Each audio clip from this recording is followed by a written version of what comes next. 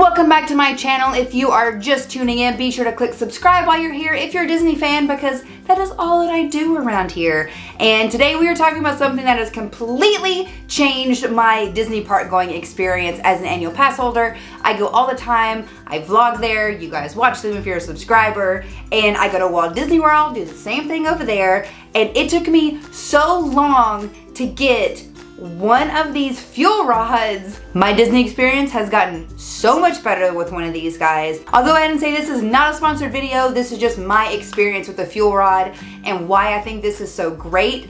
If you've been to Disneyland or even Walt Disney World, you've probably seen the fuel rod machines. And it's like portable chargers, $30.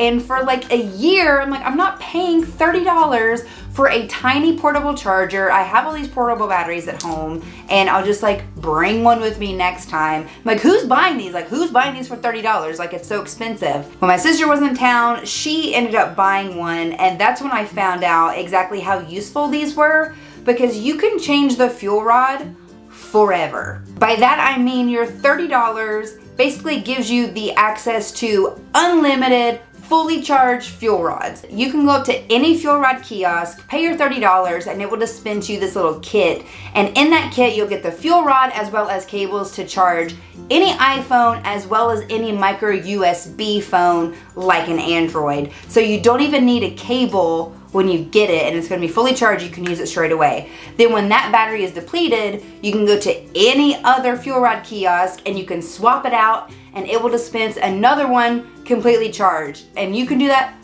forever for $30. As a pass holder, this has been amazing. I know a bunch of cast members have it, it's been amazing. Even if on vacation for like a week, 30 bucks is not a bad investment to know that your phone will never die. And at the end of the day, you still can take this home, you can recharge it, you know, at home with the USB, and then you have an external battery.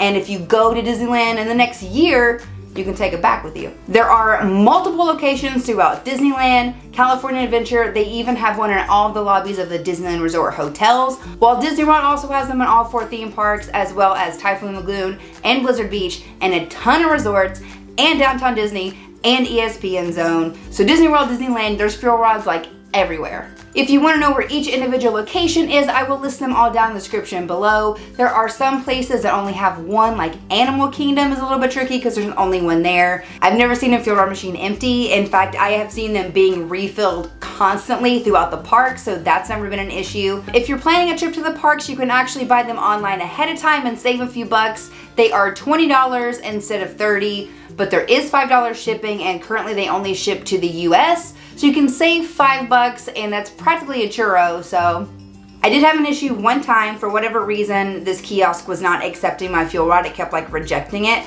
There was a phone number on the kiosk. Each one has an individual like ID number. I called them up. They remotely did it with a computer and spit it out like as I was on the phone with them. It took maybe five minutes, but even their customer service was amazing. If you wanna get technical, the fuel rod is 2600 milliamps. It's not enough battery capacity to completely charge your iPhone, especially if you're using it while you're charging it, but it doesn't matter because you can just like swap it all the time anyway. Most of the time if I need to use it, I'm still on my phone while I'm using it and if I'm in the area of a fuel rod, I'll just change it like as I'm walking by it because it's super fast. It is now one of my like top Disney tips, especially if you're an annual pass holder. It's so easy to use. I love not having to try to find an outlet. I know that my phone is always gonna be charged when I'm in the parks and it's just great. I love it. Highly recommend it. Let me know if you have had one before or let me know if it's something that you guys are now gonna check out and get. I am unsure how I did the parks before I had this, truthfully. So definitely a life changer. If you wanna see any more videos like this with more park tips, let me know specifically what kind of videos down below and I will see you guys next time. Bye.